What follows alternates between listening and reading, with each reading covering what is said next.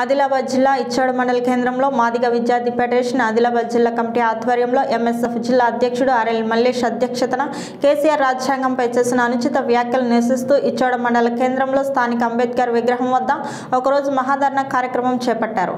ఈ సందర్భంగా ఆర్ఎల్లి మల్లేష్ మాట్లాడుతూ ముఖ్యమంత్రి కేసీఆర్ రాజ్యాంగం ప్రకారం ముఖ్యమంత్రి అయ్యి నేడు డాక్టర్ బిఆర్ అంబేద్కర్ రచించిన రాజ్యాంగంపై అనుచిత వ్యాఖ్యలు చేయడం బాధాకరమని రానున్న రోజుల్లో ఎన్నికల్లో కేసీఆర్కు తగిన బుద్ధి చెబుతామని హెచ్చరించారు. అంబేద్కర్ ఆశయాలను కొనసాగిద్దాం కొనసాగిద్దాం. అదిలాలి భారత రాజ్యాంగం. నశించాలి కేసీఆర్ పాలన సిగ్గు సిగ్గు రాజ్యాంగాన్ని మార్చనడం నశించాలి ధోరణి అంత పాలన.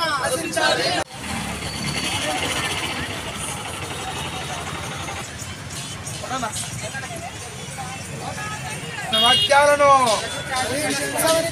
రాజ్యాంగంపై కేసీఆర్ గారు చేసిన వాక్యాలు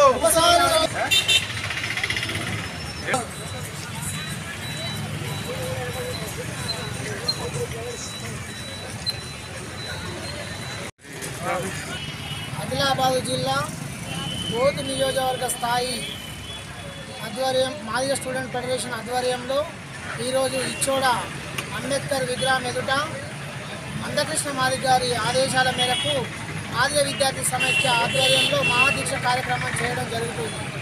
ఈ యొక్క కార్యక్రమం ఉద్దేశం ఏంటంటే మొన్న గత కొన్ని రోజుల కిందట తెలంగాణ రాష్ట్ర ముఖ్యమంత్రి కేసీఆర్ గారు రాజ్యాంగాన్ని మార్చాలని చెప్పేసి పాత్రికేయుల సమావేశంలో మాట్లాడడము ఆ యొక్క సమావేశంలో ఏదైతే రాజ్యాంగాన్ని మార్పు చేస్తారన్న ఉద్దేశంతో మార్పు జరగాలన్న ఉద్దేశంతో మాట్లాడిన మాటల పది రోజుల నుండి గౌరవ మందకృష్ణ మాది గారి ఆదేశాల మేరకు అన్ని మండల కేంద్రాల్లో కేసీఆర్ దిష్టి బొమ్మలు తగలబెడుతూ మరియు అట్లనే ఆ యొక్క వాక్యాలను ఉపసంహరించుకోవాలని ప్రధానమైన డిమాండ్తో నిరసన కార్యక్రమాలు చేయడం జరుగుతుంది.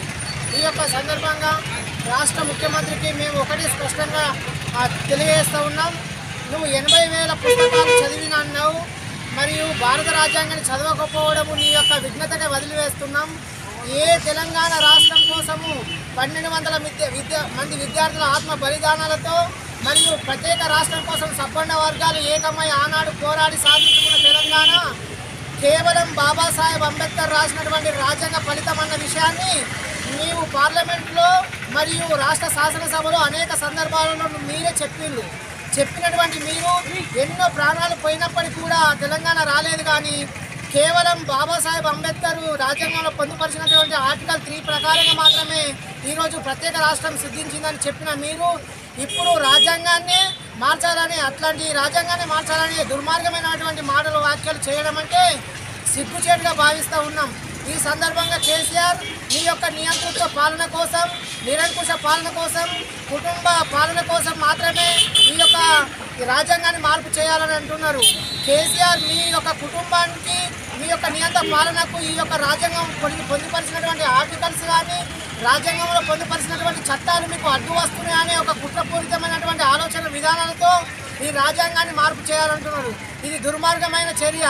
మీకు కేంద్రానికి ఉన్నటువంటి ఏవైతే భేదాభిప్రాయాలు ఉన్నాయో దాన్ని తెర మీదకు తీసుకొచ్చి అదేదో బీజేపీకి నేను వ్యతిరేకమని కొత్తగా ఏదో చేస్తున్నాననే ఉద్దేశంతో మీరు మీరు భేదాభిప్రాయాలు చెప్పుకున్నప్పటికీ కూడా ఇక్కడ తెలంగాణ సమాజం కానీ భారత సమాజం కానీ మీ వ్యాఖ్యలు తీవ్రంగా ఖండిస్తుంది. మీ భేదాభిప్రాయాలు రాజ్యాంగం పైన ఇద్దరిది ఒకటే విధానం ఉన్నది కాబట్టి ఎట్టి పరిస్థితుల్లో మీ యొక్క కుట్రలను బయ బహిర్గతం చేస్తాం.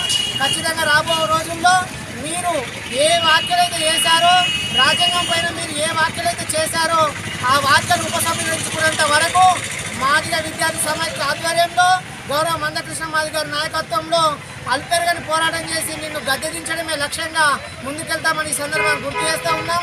అట్లనే ఏ రాజ్యాంగ ఫలాల ద్వారా ఎస్సీ ఎస్టీ ఎంపీ ఎమ్మెల్యేలు ఎవరైతే ఉన్నారో మీరు కేసీఆర్కు భజన పరులుగా కేసీఆర్కు బానిసలుగా పని చేస్తున్నారే తప్ప ఈ రాజ్యాంగం పైన చేసినటువంటి అవహేళన వ్యాఖ్యలను మీరు ఖండించకపోవడం దుర్మార్గం అని ఈ సందర్భాన్ని గుర్తు చేస్తూ ఉన్నాం. రాష్ట్రాలలో అయితే రిజర్వేషన్ పుణ్యాన్ని గెలిచారో. భూముల్ని చిట్టు చిట్టుగా ఓడించే విధంగా ఖచ్చితంగా మా యొక్క భవిష్యత్ కార్యాచరణ ఉంటుంది. దానికి అనుగుణంగా గౌరవ మండల అధికారి నాయకత్వంలో ముందుకెళ్తామని సందర్భాన్ని గుర్తు చేస్తూ ఉన్నాం. ఈ విధంగా మీరు చేసినటువంటి వార్తలు ఉపసంహరించుకునేంత వరకు మా పోరాటాలు కొనసాగిస్తూనే ఉంటామని ఈ సందర్భాన్ని గుర్తు చేస్తూ ఉన్నాం. దీనికి అన్ని విద్యార్థి సంఘాలు కలిసి పెద్ద ఎత్తున రేపు హైదరాబాద్ జిల్లా కేంద్రంలో కూడా ఏర్పాటు చేస్తామని తెలియజేసుకుంటూ ఈ సందర్భంగా గుర్తు చేస్తూ ఉన్నాం. నశించాలి కేసీఆర్ని అంత పాలన. నశించాలి కేసీఆర్ని పాలన. సిగ్గు సిగ్గు భారత రాజ్యాంగాన్ని అవమానపరచడం